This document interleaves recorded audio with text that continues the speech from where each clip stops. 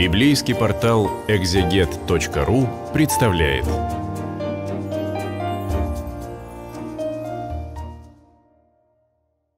Здравствуйте, это видео для библейского портала экзегет.ру.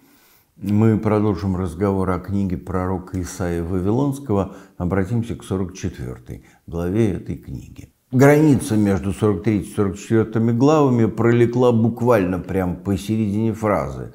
И непосредственно первая часть, первые там, 8, по крайней мере, стихов этой главы являются продолжением того, что было начато в 43-й. Так это обращение Бога к Израилю, и Господь здесь называет Иакова рабом Божьим.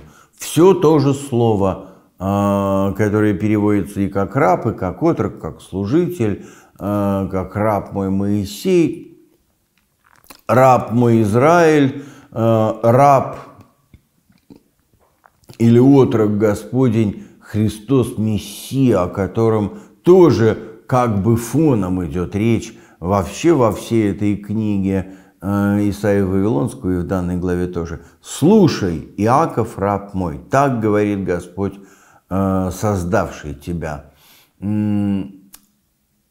подытоживается призвание, призыв к Иакову, к Израилю быть народом Божьим и свидетелями правды Божьей, быть свидетелями того, что нарушение завета приводит к гибели и развалу, и разрухе, свидетелями того, что Бог не бросает, свидетелями того, что Бог заранее э, видит и делает, у него есть план, и свидетелями того, что Бог э, действительно выводит из рабства к свободе и к восстановлению, к возрождению.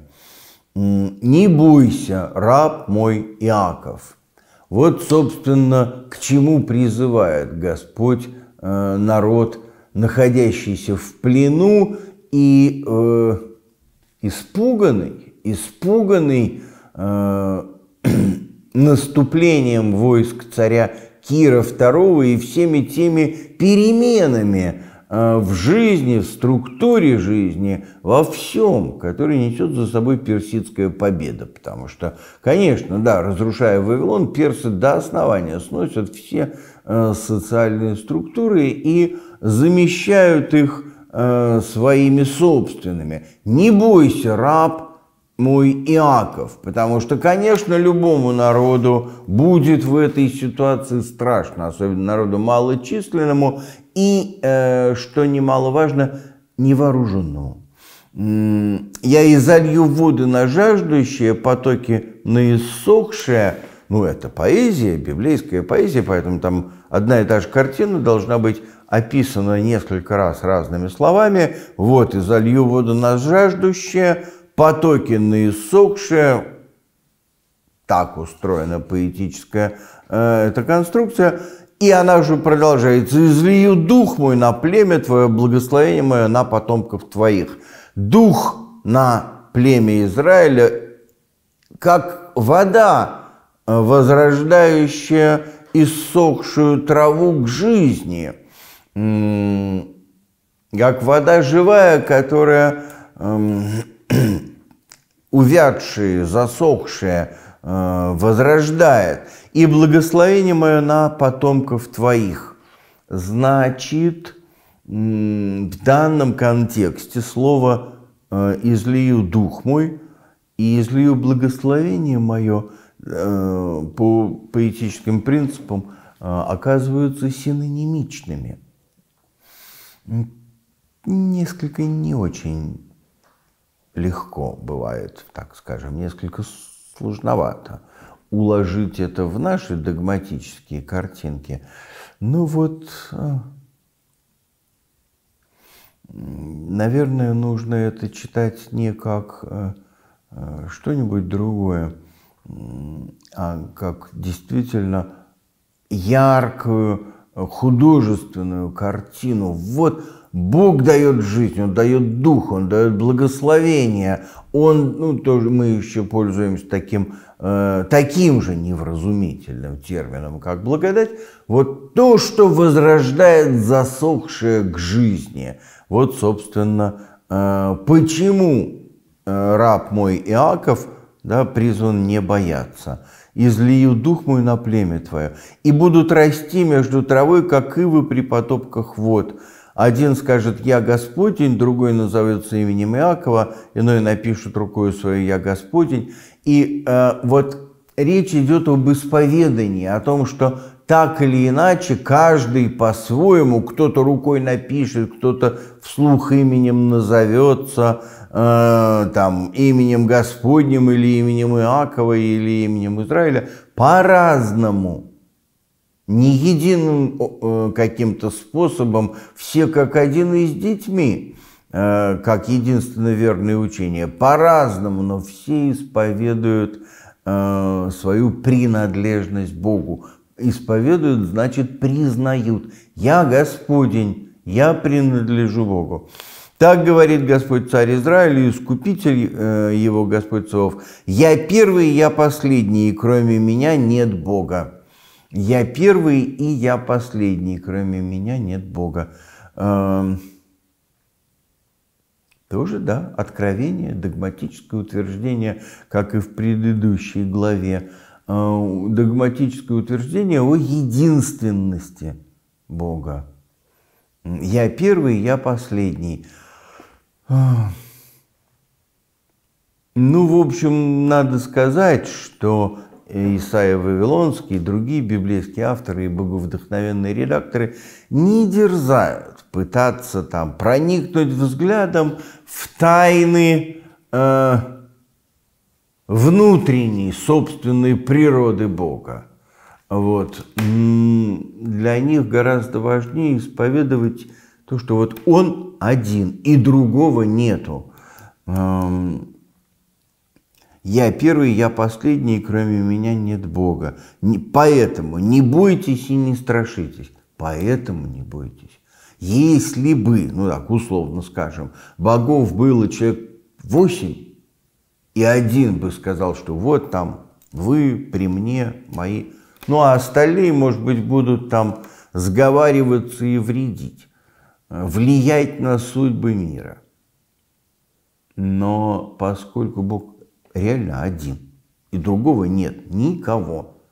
А, никаких других богов. Значит, что бояться, если мы ему принадлежим? Не бойтесь и не страшитесь. Вот а, для Исаия Вавилонского, как и для некоторых других его современников, важно осознать себя и помочь своему народу осознать себя вот в этом в таком мире, где есть Бог, реальность жизни, истории, в которой Бог властвует, а, есть Его обещание быть нашим ближайшим родственником, значит, искупителем, ну и вся остальная вот пена человеческой выдумки, которая не стоит внимания, потому что в этом мире совершенно по-другому живется – чем э, если вокруг какие-то э, аравы идолов бегают.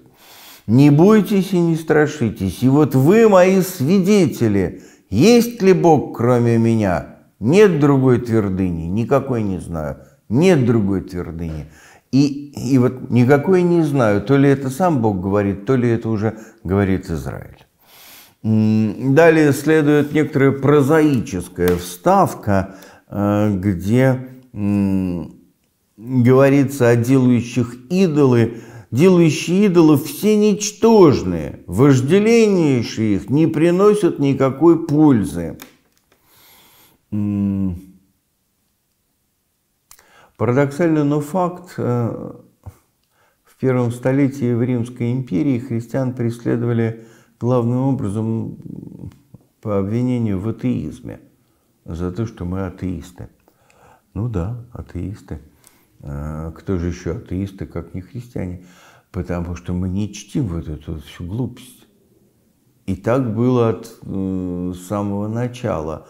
Делающие идолов все ничтожные. Э, вот нет этого ничего, не приносят никакой пользы эти самые идолы. э, все участвующие в этих, эм, как это называется, вот в этом идолопоклонстве, будут постыжены, постыжены, то есть имеется в виду, что идолопоклонники в какой-то момент, в каком-то повороте истории скажут, ну и мы же идиоты, что поклонялись вот тому, чему не нужно поклоняться или чего вообще не существует. И вот дальше, по-видимому, тоже довольно саркастично звучащий отрывок о том, как человек там нарубит себе дрова, из этих, на этих дровах скипятит себе воду, испечет хлеб, а из остатков вытешит себе Бога. Э, из этого же делает Бога и э, поклоняется и повергается пред Ним. По совести сказать, вполне уместный сарказм по отношению к крайним формам идолопоклонства, как будто не видит разницы между языческой народной религиозностью, вот это вот идол, все дела, и э, религиозно-философскими взглядами. Потому что язычество далеко не всегда вот такое примитивное, как здесь описано. Может быть, в Вавилоне все-таки именно с таким примитивным язычеством Израиль и столкнулся. Может быть. Хотя у окрестных народов уже зарождается нечто все же несколько более возвышенное, не более разумное, но более возвышенное. Там бесплотные боги, там прочее, прочее. Э, одним словом, если не предвзято, положа руку на сердце, э, прочитать этот текст с 9 по, ну, в общем, 20, то надо сказать, что не ко всякой форме язычества, э, как сказать, приложим тот градус сарказма, который свойственен авторам этого текста. Э, Все-таки да, язычество бывает разное, не всегда такое примитивное. Но тем не менее, э, Господь здесь говорит, что вот он вытесал себе идол из своих же дров – сам ему молится и говорит, спаси меня, потому что ты Бог мой. А, вот. И не понимает, не возьмет этого к сердцу своему, нет у него столько знаний и смысла, чтобы сказать, что половину я сжег в огне, на уголях испек хлеб и жарил мясо, а из остатка сделаю э, мерзость, буду поклоняться куску дерева. Не возьмет этого к сердцу нет у него столько знаний и смысла. Вот на самом деле а, сердцевина-то проблемы. У человека, который вот в этом поклонении, а, не настоящему, множественным идолам, вот этому вот всему, он не знает, как устроена жизнь до такой глубины, до такого смысла, чтобы освободиться – вот он гоняется за пылью, обманутое сердце ввело его в заблуждение. И он не может освободить души своей и сказать, не обман ли в правой руке моей. А, ну, просто шокирующе серьезные, важные слова. Бог говорит о том, что человек, который в это язычество так или иначе погрузился, он не может включить критическое мышление, не может сказать себе, не обман ли в правой руке моей, да, там, держа идола в правой руке, не может сказать, а это вообще не глупости ли, так ли это? И вот прямо со скорбью Бог говорит о человеке, который не в состоянии освободиться от заблуждения, освободить души своей, Э, и включить критическое мышление. И э, из этого, в общем, понятно, что э, само по себе такого рода мышление И свобода души от зашоренности и мыслей, и мозгов, да, э, смыслов от зашоренности – вещь для Бога важная. И вера-то для Него, судя по этим словам Исаия Вавилонского, не столько в том, чтобы затвердить недоказуемое и опять зашоренные слепо в это верить, сколько быть свободным для того, чтобы э, спросить себя, не обманут ли я. И если речь идет о настоящем Боге, убедиться и сказать себе, нет, не обманут, воистину ты Бог мой. Понимаете, вот помни это, Иаков, Израиль, не забывай меня, э, и тогда я изглажу беззаконие твои, грехи твои, как облако. Вот э, тоже может быть один из важнейших таких моментов о свободе души и критическом мышлении.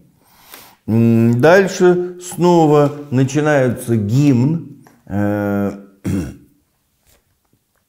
начинается гимн «Торжествуйте небеса, потому что Господь сделал это, искупил Господь Иакова и прославился в Израиле». Вот то, что обещал Бог сделать, что мы должны были засвидетельствовать, в чем мы должны были засвидетельствовать реальность и единственность Бога, вот это произошло. Искупил Господь Израиля.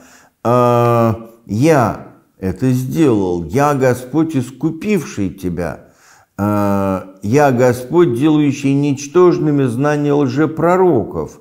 Утверж... Э, знания их делают глупостью, утверждают слово раба своего. То ли имеется в виду все же Израиль, то ли уже Мессия, трудно сказать. Тем не менее, вот слово своего свидетеля Бог утверждает своими поступками – а дальше, опять, как неоднократно это происходит на протяжении этих глав, переменяется герой и образ, и э, «Я Господь, говорю о Кире, пастырь мой, он исполнит всю волю мою». Кир здесь Кир, Кир, не Мессия, царь персидский Кир II, выглядит тем, кого ну, пред, представлен человеком, которым, о котором Бог говорит, вот он мой пастырь, он мои народы упасет туда, где, куда, туда, куда мне надо. А, и он говорит Иерусалиму, ты будешь построен, и храму ты будешь основан. А, таким образом, вот следующий контрапункт в рассказе – это то, что не просто избавлен будет из плена, а отпущен Киром из плена народ Божий, но и Иерусалим будет восстановлен, и храм будет воздвигнут.